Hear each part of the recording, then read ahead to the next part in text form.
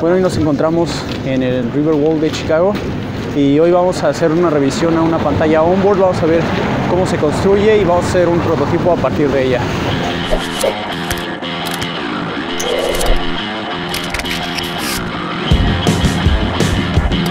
Ok, lo primero que vamos a hacer es abrir nuestro Adobe XD. Vamos a seleccionar el tipo de pantalla con la que vamos a trabajar. En este caso va a ser una pantalla de Android. Damos clic en la pantalla y nos abre nuestra mesa de trabajo. Lo que vamos a hacer es copiar, control C, control V, control V, repetimos y bueno aquí están nuestras primeras tres pantallas una pantalla de onboard básicamente lo que es es una introducción a la aplicación en sí puede ser a través de pasos 1 2 y 3 o puede ser a través de material de marketing de cómo va a funcionar o pequeñas palabras clave etcétera ¿no? entonces bueno vamos a iniciar vamos a alinear nuestras pantallas una al lado de la otra que no haya ningún margen de separación y vamos a empezar creando un gradiente los gradientes están muy en boga ahorita. Eh, probablemente en unos meses o en un año ya no estén. Entonces vamos a sacarle provecho. Vamos a alinear bien aquí. Quitamos el borde. Le damos una altura de 250 píxeles. Y en rellenar color vamos a seleccionar gradiente. Ajustamos el ángulo en el que queremos que haga la transición y vamos a trabajar con colores cálidos puesto que es una aplicación para comida Ok, pues ya tenemos nuestro gradiente. Ahora lo que vamos a hacer es hacer doble clic y vemos que se habilitan estos nodos. Estos son para que puedas manipular la imagen de manera independiente por cada esquina. En este caso seleccionamos la esquina inferior derecha y con la ayuda de la tecla Shift o la tecla de la flechita subimos un poco solamente para darle dinamismo a la imagen y que no esté tan cuadrado. Vamos a levantarlo un poco más, que se note más el efecto y listo. Bueno, pues ya tenemos nuestro nuestro gradiente. Ahora lo que vamos a hacer es control C, vamos a la pantalla número 2, control B y alineamos. Vamos de nuevo ahora a la pantalla número 3. De nuevo pegamos y alineamos. Ok, pues ahora lo que vamos a hacer es enmascarar nuestras, nuestro gradiente. Vamos a crear un rectángulo con la ayuda de las guías inteligentes. Quitamos el borde, seleccionamos el rectángulo, control C, la siguiente pantalla, control V, la siguiente pantalla, control V. Entonces ya tenemos nuestros rectángulos en cada una de nuestras pantallas. Seleccionamos la pantalla número 1 y en el panel de capas seleccionamos con la tecla Shift, seleccionamos el gradiente, que es este, gradiente y nuestro rectángulo. Ahora vamos a objeto y ponemos una máscara con la forma. Listo pues hacemos lo, mismo en las siguientes pantallas, seleccionamos el gradiente con el rectángulo y enmascaramos. Hacemos lo mismo con la última pantalla y listo. Ok, ahora vamos a crear botones de transición. Estos son los que nos van a permitir navegar de una pantalla a otra. Para esto lo que vamos a hacer es seleccionar la herramienta elipse ponemos aquí el candado, le damos una altura de 20 píxeles, quitamos el borde y ponemos un relleno de color naranja. Ok, una vez hecho esto, vamos aquí donde dice repetir cuadrícula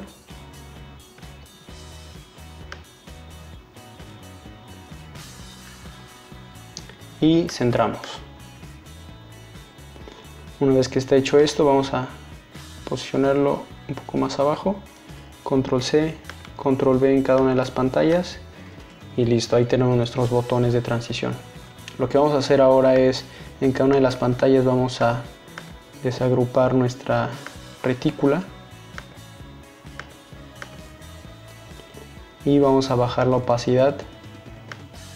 En el caso de la primera pantalla de los dos últimos botones, en el caso de la segunda pantalla los que están en las orillas, vamos a darle un 50% de opacidad.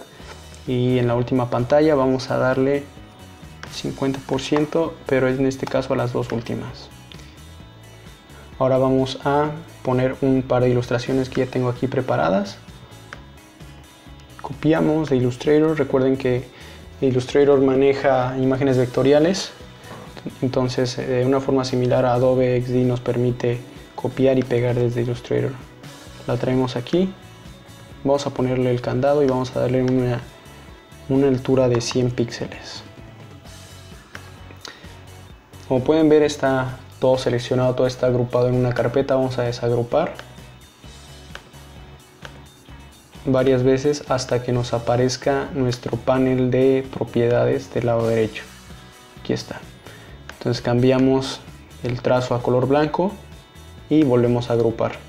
Una vez hecho esto, arrastramos nuestra imagen a la parte superior y la centramos con nuestro cuadrado. Hacemos lo mismo con el resto de las imágenes.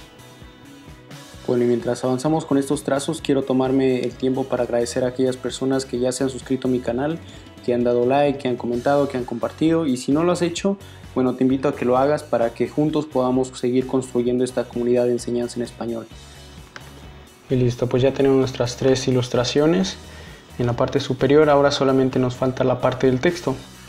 Para esto vamos a seleccionar nuestra herramienta texto, damos clic en ella y vamos a poner un título. En este caso puede, puede ser Elige tu destino. Seleccionamos el tipo de letra que queremos utilizar.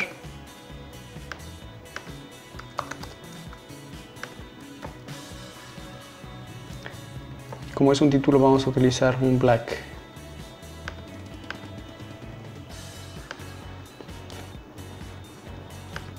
A ponerle un color más oscuro, más, más intenso, pero sin llegar a negro. Nos aseguramos de que esté bien centrado. Vamos a subirlo un poco más. Y en esa posición vamos a apretar Control C, Control V en la siguiente pantalla. Hacemos lo mismo con la tercera. Cambiamos nuestro texto